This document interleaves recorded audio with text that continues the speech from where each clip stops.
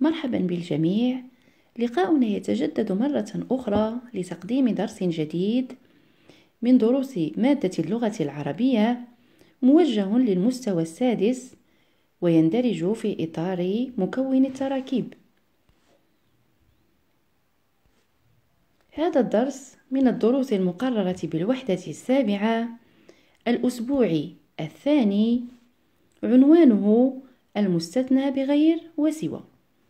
لاستيعاب هذا الدرس ومسايرته لابد أن نكون قد ضبطنا درسا سابقا وهو المستثنى بإلا.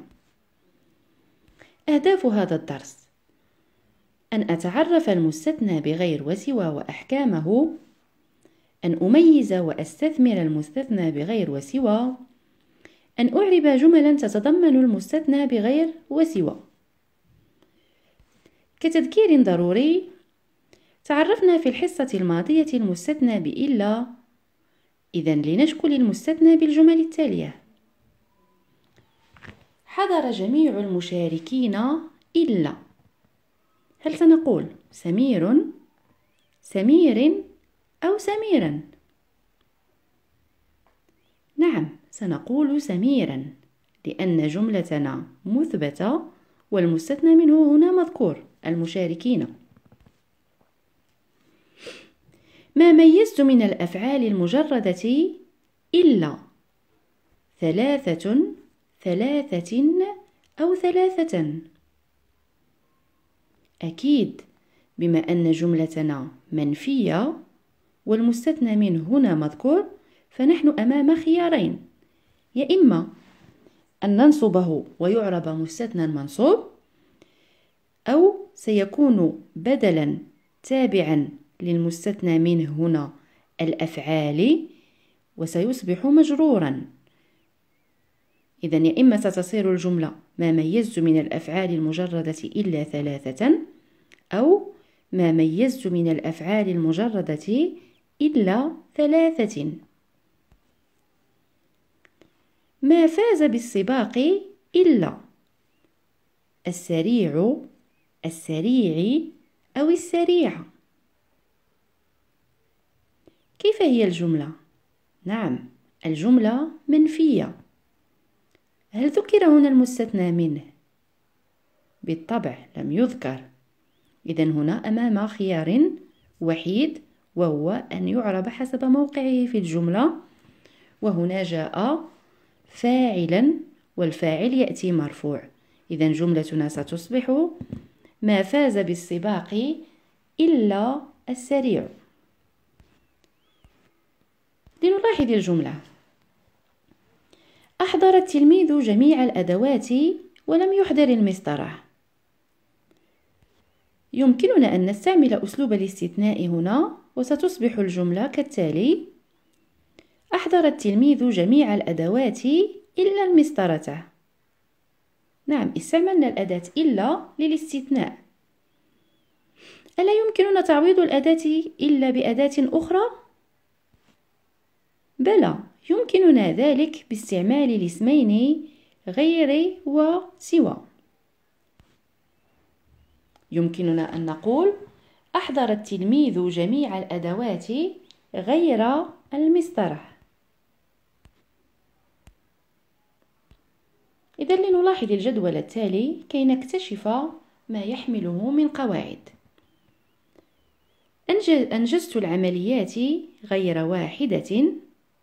هنا المستثنى منه العمليات أداة الاستثناء غير والمستثنى واحدة. ما وصل من الضيوف غير عمر.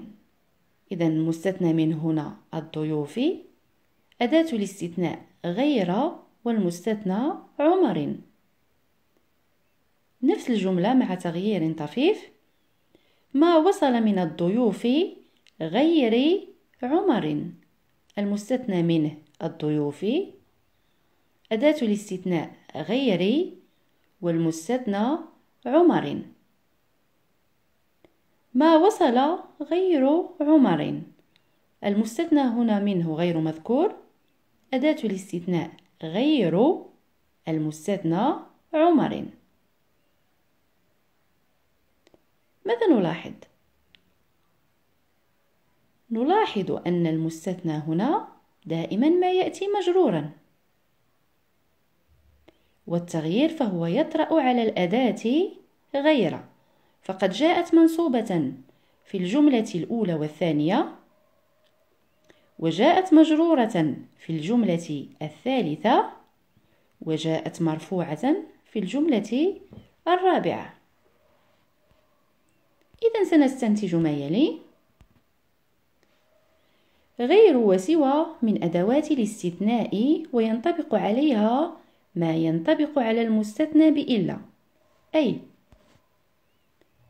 تعرب غير وسوى مستثنى منصوبا إذا كانت الجملة مثبتة والمستثنى منه مذكور. مستثنى منصوبا أو بدلا تابعا للمستثنى منه إذا كانت الجملة منفية والمستثنى منه مذكور. أو حسب موقعها في الجملة إذا كانت الجملة منفية والمستثنى منه غير مذكور. نعم. لنرى نموذجا للإعراب. من أجل الاستئناس جملتنا لم يفز بالمسابقة سوى السريع. لم فهي أداة نفي وجزم وقلب. يفز فهو فعل مضارع مجزوم بلم.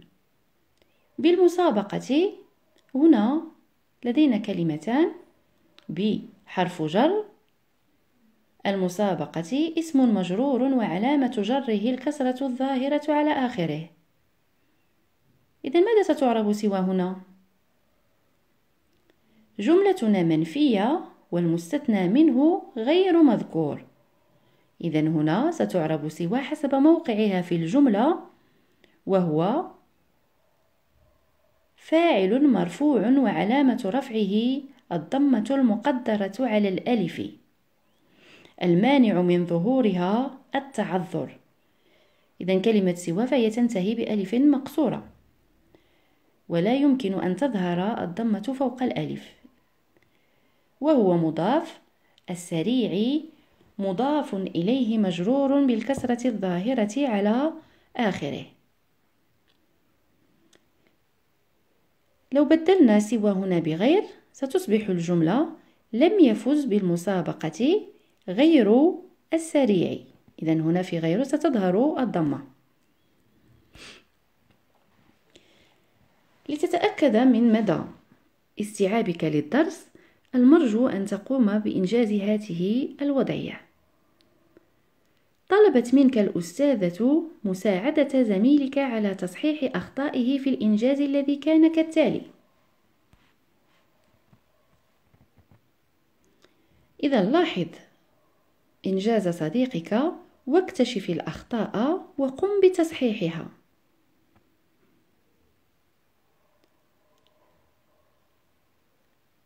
الجملة هي ما حفظت من الصور المقررة غير القلم.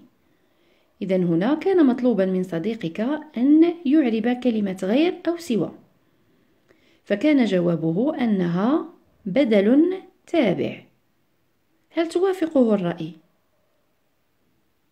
لاحظ الجملة. كيف هي؟ نعم جملتنا منفية. هل ذكر هنا المستثنى منه؟ أكيد فهو مذكور الصوري إذا هنا نحن أمام حالتين إما ستعرب غير مستثنى منصوب أو ستكون بدل هل هي بدل؟ نعلم أن البدل يتبع المستثنى منه اللي هو هنا الصوري. إذا الصوري جاءت مجرورة غير جاءت منصوبة. إذا سنستبعد جواب أن تكون بدل والجواب الصحيح هو مستثنى منصوب. كان جواب صديقك على, الج... على السؤال الثاني بالجملة الثانية فقد أعرب سوى مستثنى منصوب. هل جوابه صحيح؟ كيف سنحدد ذلك؟ إذا الجملة هنا فهي منفية والمستثنى منه غير مذكور. إذا هنا سوى ستعرب حسب موقعها في الجملة. وقد جاءت هنا فاعلا مرفوعا. إذا لتكون إنجازات صديقك صحيحة كان عليه أن يحصل على هذه النتيجة. أشكرك عزيزي التلميذ أشكرك عزيزتي التلميذة على حسن المتابعة وإلى لقاء قريب إن شاء الله.